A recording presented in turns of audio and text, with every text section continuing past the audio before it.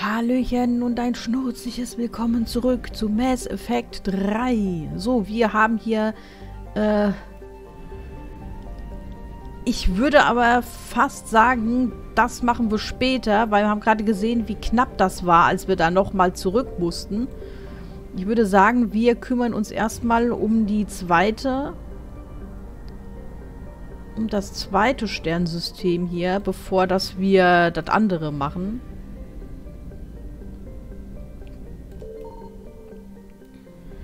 Ja, fängt ja gut an hier. Oh, aber... Ich habe etwas gefunden. Ihr seht, da ist keine Leiste hier. Ich glaube, wir sind im richtigen System. Mahavit. Wir haben Ganu geortet. Uh. Mahavit ist ein metallischer Asteroid im äußerst kargen Nahata-Gürtel. Er weist einen hohen Gehalt an Nickel und Eisen in Form von Kamazit auf. Die Abbaurechte an Mahavit liegen bei TGES Mineral Works, die ihre Produkte hauptsächlich an die Kolonisten auf Avuna verkaufen. Ein tiefer Überflug zeigt Licht, das aus Anlagen kommt. Mhm. Warte. Ähm, aber etwas ist noch hier, weil wir sind erst bei 50%. Und wie man sieht, hier ist eine wichtige Quest, deswegen kommen hier tatsächlich keine Reaper. Das ist mir nämlich in früheren Folgen auch schon aufgefallen, dass da, wo wichtige Quests sind, dass hier keine Reaper kommen, egal wie viel man scannt. So, wir haben ein bisschen Treibstoff gefunden und damit sollten wir auf 100% sein und jetzt können wir die Quest machen.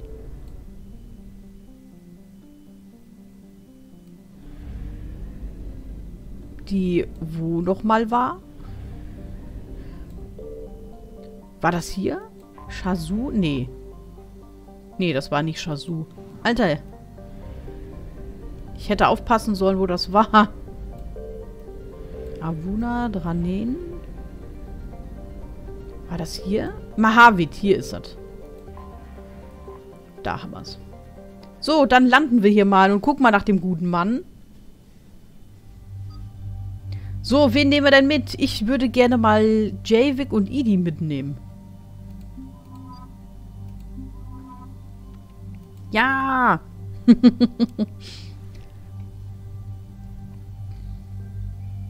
so. Waffenmods. Was haben wir denn hier Schönes? Magazin, Durchschlag, Nahkampfbetäuber, Schädeltraum, erhöht Kopfschussrate. Und was haben wir hier? Magazin-Upgrade, Durchschlag, Nahkampf, Schädel.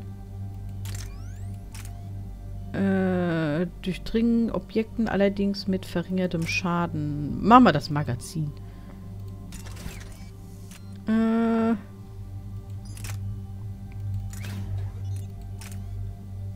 Durchschlag, Magazin Upgrade, Stabilisierung. So. Danke.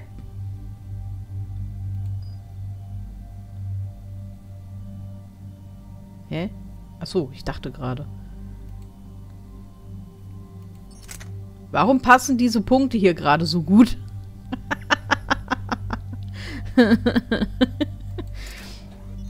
so, äh, Durchschlag. Nochmal Schädeltrauma. Nehmen wir auch das hier.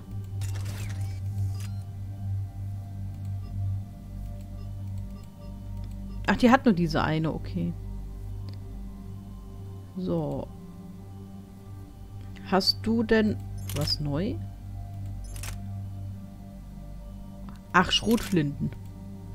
Eine neue Schrotflinte. Nee, danke. Ich bleib bei dem, was ich habe. Ah ja, genau, das wollte ich aber nochmal wechseln. Weil das war ein anderes, als ich vorher hatte.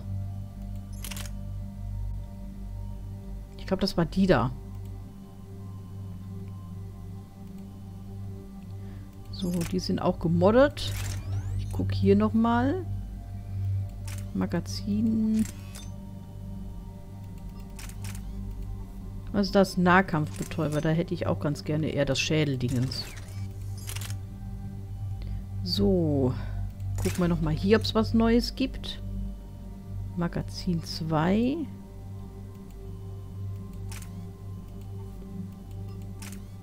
Nee, das passt. Okay, gut. Fertig. Würde ich sagen. So, drei Pünktchen. Ne, ich möchte gerne sparen.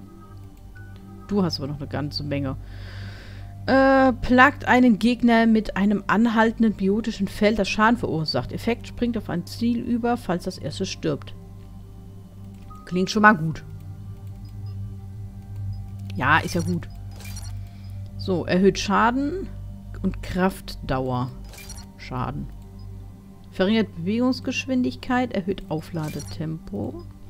Und Schaden um 50 oder erhöht Schaden gegen Panzerung und Barrieren.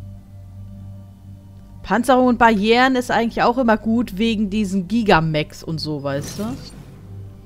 Finde ich persönlich zumindest. Antigravitationsziehen holen sie hilflose Gegner vor die Füße. Oh, okay. Schmettern verursacht Schaden mit einem biotischen Schmetterangriff. Verbessert biotische und offensive Fähigkeiten. Das sollte man, glaube ich, auch relativ früh ausbauen. Kraftschaden, Gesundheit und Schild. Waffenschaden, Kraftschaden. Schadendauer von Kräften der Gruppenmitglieder. Erhöht Aufladetempo der Gruppenmitgliedsschilde. So, fertig. Dankeschön. So, ich bin gespannt. Wir sind etwa fünf Minuten entfernt, Commander. Was genau ist auf diesem Asteroiden? Minenanlage. TGES Mineral Works. Eher klein. Könnte ein gutes Versteck für Leviathan sein. Wir haben alle Edis Notizen über Brysons Labor gelesen. Fragen? Wissen wir sonst noch irgendwas über diesen Leviathan? Nicht wirklich. Nur, dass er einen Reaper getötet hat. Aber wir suchen jetzt Garneau, Dr. Brysons Partner. Genau. Wenn wir Garneau finden, haben wir auch Leviathan. Vielleicht. So ist es. Der Doktor hatte recht. Was mächtig genug ist, um einen Reaper zu töten, muss untersucht werden. Aber mit Vorsicht. hat Garneau die Antworten, die wir brauchen. Ich bekomme Reaper-Signaturen aus dem Asteroidenfeld rein. Okay. Bryson hat gesagt, dass sie seine Teams beschatten. Wenn sie Leviathan auch wollen, sind Reaper ein gutes Zeichen. Sowas hört man auch nicht jeden Tag. Bringen Sie uns rein. Ne, aber bedenke, was, was mächtig genug ist, einen Reaper zu töten, ist definitiv auch mächtig genug, um noch viel mehr Ärger zu machen als ein Reaper. Also das ist halt auch immer mit Vorsicht zu genießen, glaube ich. aber äh, wie sagt man so schön, der Feind meines Feindes ist mein Freund. Also von daher. So, dann bitte einmal speichern. Bleiben Sie vor Ort, Cortez. Wir klären das und kommen gleich. Informieren Sie mich über die Reaper-Lage. Jawohl, Commander. Ich kann nicht speichern. Nein, ich kann nicht speichern. Okay. Darf ich jetzt so speichern, wo ich draußen bin? Nein, okay. Ja, dann halt nicht. Dann lässt bleiben.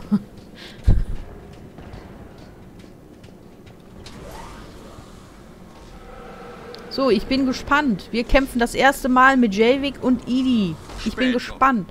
Oder schlimmer, dem Geräusch nach. Oh, jetzt wird gespeichert. Ja, danke, dass ihr da einfach mal direkt dagegen klatscht. Äh, äh. Ach, so einer ist das wieder.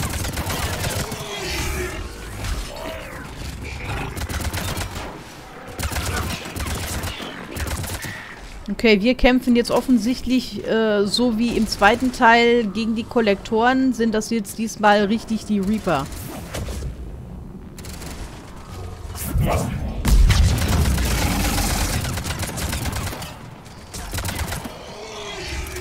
Holen wir Garneau, bevor die echten Truppen eintreffen. Ja, ja bitte. Ich würde sehr gerne weg sein, bevor die echten Truppen hier auftauchen. Das wäre mir sehr lieb. Äh, Medikit brauche ich gerade noch keins. Deswegen lasse ich die eigentlich immer ganz gerne stehen. Ich kann immer noch nicht speichern von alleine.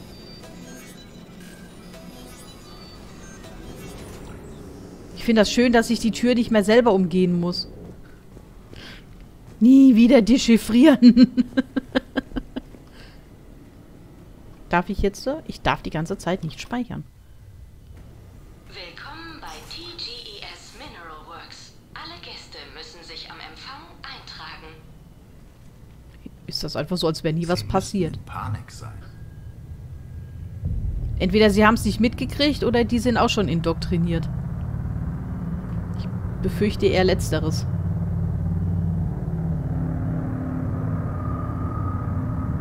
Alter, ist das gruselig. die, die sind definitiv nicht mehr sie selbst.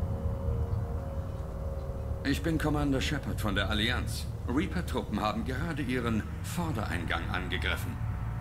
Sind Sie noch da? Ich habe mich darum gekümmert. Verstehe. Das wäre dann alles. Das wäre dann... Vorsicht. Hallo? Ja. Willkommen bei TGES Mineral Works. Wie können wir Ihnen helfen? Ja. Tragen Sie sich bitte für die Tour ein. Das ist... Äh, ich habe gerade Gänsehaut, Leute. Das ist Sie richtig sind nicht übel. besorgt wegen der Reaper. Wissen Sie etwas, das ich nicht weiß? TGES Mineral Works ist ein Wolfram-Lieferant kleiner bis mittlerer Größe für die Galaxie. Das habe ich nicht gemeint. Sind Sie vertraut mit den Anwendungen von Wolfram? Ich suche einen Forscher namens Dr. Garneau. Er ist in den letzten Wochen angekommen. Wenn er noch da ist, muss ich mit ihm sprechen. Wir haben keinen Dr. Garno. Benötigen Sie einen Arzt? Ich könnte reingehen und mich umsehen. Nein, der Eingangsfahrstuhl ist kaputt.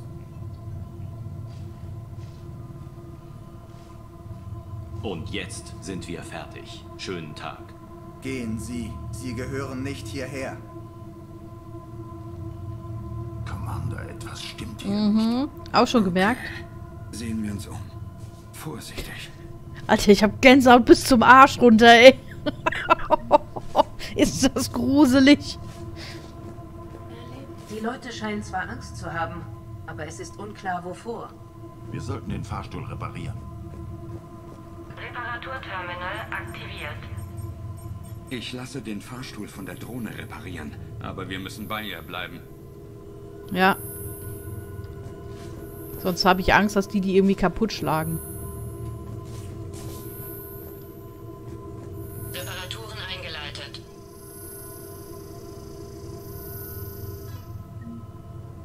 Wow. Das war's schon? Zugang gewährt. Sicherheitslog letzte sieben Tage. Randall Jan, Garneau Alex, Bragg Steven, Driffen Fiona.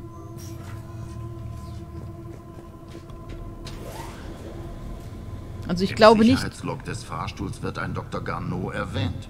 Warum lügen Sie bei der Sache? ich glaube eher, die Keine sind Ahnung. indoktriniert Hoffentlich müssen wir nicht allzu weit suchen. und wollen verhindern, dass wir hier reingehen und den mitnehmen, sondern wollen vielleicht erstmal auf, ähm, wie heißt das, diplomatische Weise versuchen, uns wieder zum Gehen zu bewegen. Bevor dass sie uns dann den Arsch aufreißen oder so, weil wir uns weigern. Oh, gespeichert. Mineralienlabor, Transit und Medical ist auf der Seite. Oh, da liegt was. Ein Datenpad. Nach einem Vergleich der Mageninhalte von Warren aus acht unterschiedlichen Regionen sind wir gezwungen, unser derzeitiges Verständnis ihres Fressverhaltens zu überdenken. Gut. Wissenschaftsbüros. Ja, da steht's ja. Krankenstation, Transitstation, Mineralienlabor. Da steht ja alles. Was haben wir denn hier? Mineral. Da haben wir das Mineralienlabor.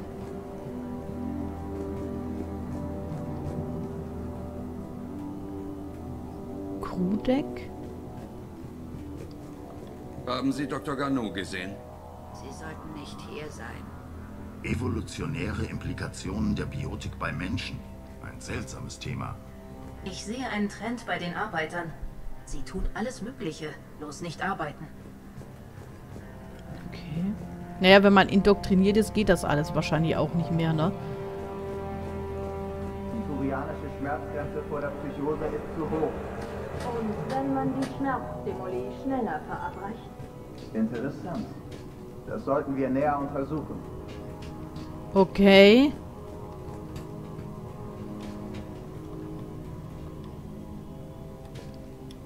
Na, Dies ist ein Sicherheitsterminal mit Zugriffsbeschränkung. Entschuldigung. Zugriffscode der Stufe 5 erforderlich. Habe Okay. ich nicht. Dann müssen wir uns das wohl irgendwie besorgen, vermutlich.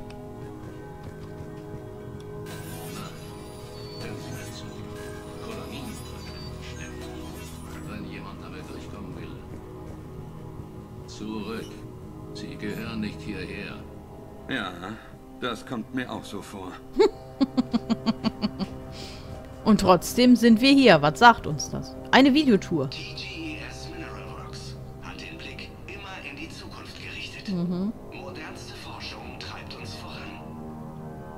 Wow, das war ein tolles Video. Sektor 4. Sehen Sie noch die Karte? Näher. Sagen Sie mir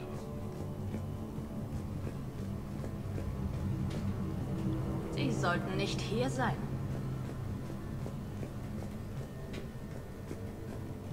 Ein Datenpad. TGES Personalbewertung. Brown Jeremy, Personalkennung 23195. Sektor E Wartungsdienst. Kürzlich eingeholtem Feedback zufolge habe ich ihre Leistungen deutlich haben sich ihre Leistungen deutlich verbessert. Ihre Arbeit an den verdorbenen Hautproben, die wir erwoben, erworben haben, war beeindruckend. Sie erhalten eine, Ver eine, Verbe eine Verbörderung. Sie erhalten eine Beförderung und eine Erhöhung ihrer Sicherheitsstufe. Vielen Dank für Ihre harte Arbeit. Diese Bewertung ist vertraulich. Angestellte werden aufgefordert, ihre Bewertungen so aufzubewahren, dass sie von anderen nicht eingesehen werden können. Personalkennung. Ja, wenn wir die Personalkennung haben, kriegen wir auch vielleicht auch eine höhere Gehen Sie Sicherheitsstufe. zurück, Commander. Oho, wir, die kennen uns, sie kennen uns. Darf ich? Danke. Zugang gesperrt. Aktive Patientennummer erforderlich. Aha. Sowas habe ich nicht. Zugang verweigert. Ja, das Übliche. Wir müssen also irgendwie an Daten kommen. Zugang gesperrt. Ja, ja. Aktive Patientennummer erforderlich. Sowas habe ich nicht. Zugang verweigert. Ach, das ist wahrscheinlich dieselbe Tour. Okay, das ist gruselig. Das ist gruselig. Die konzentrieren sich auf ein Bild von uns, weißt du? Alter, das ist gruselig. Was zum Geier. Alter Schwede. Warum, warum, wa, was, auf was habe ich mich hier eingelassen? Oh, hier haben wir noch ein Datenpad. Aufgrund erhöhter Aktivitäten elektrischer Stürme kommt es derzeit zu Verzögerungen bei der Kommunikation mit den Forschungsteams in Abschnitt Beta. Wir bitten alle, die auf Daten warten, um Geduld. Aktuelle Vorhersagen deuten darauf hin, dass sich die Stürme gegen Ende der Woche legen werden. Dann wird sich auch die Kommunikation wieder normalisieren.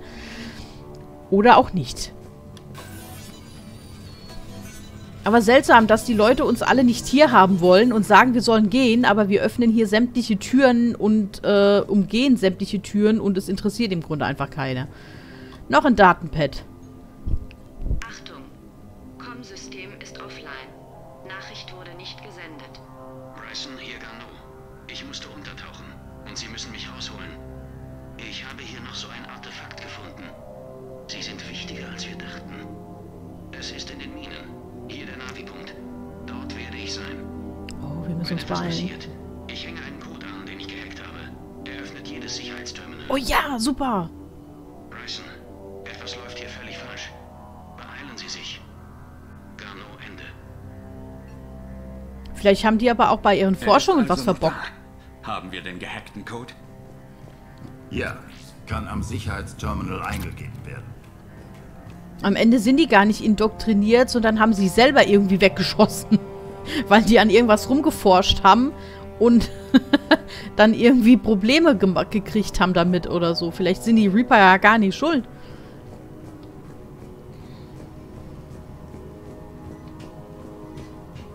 So, darf ich denn jetzt hier durch?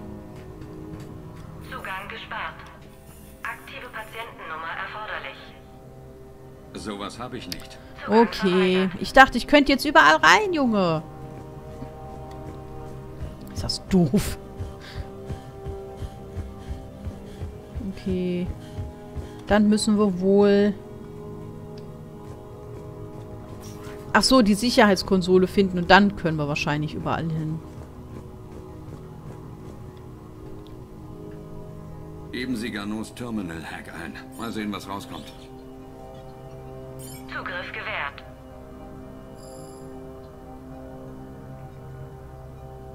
Ein Schiff hat ihn vor einer Woche abgesetzt. Er hatte anscheinend vollen Zugriff, bevor er untergetaucht ist.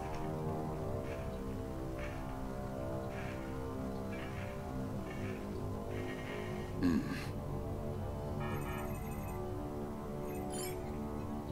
Unbekannter Mann war an Auseinandersetzung in den Minen beteiligt. Dieser Mensch Garneau war unterwegs in die Minen. Er wurde wohl auf die Krankenstation gebracht.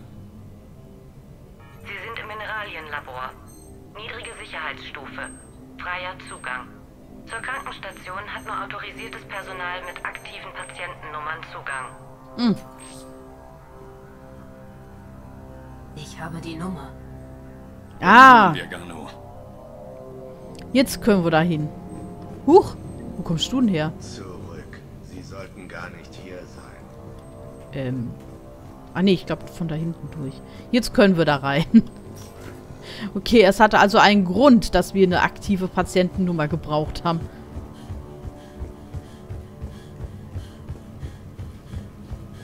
Schnauf doch nicht wie so ein Walross. Zugang gesperrt.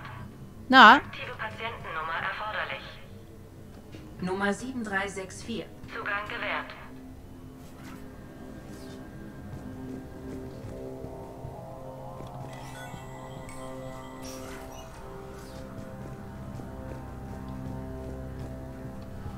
So, ich würde sagen, wir machen jetzt mal einen kurzen Cut und wir sehen uns gleich wieder. Na, also tschüss.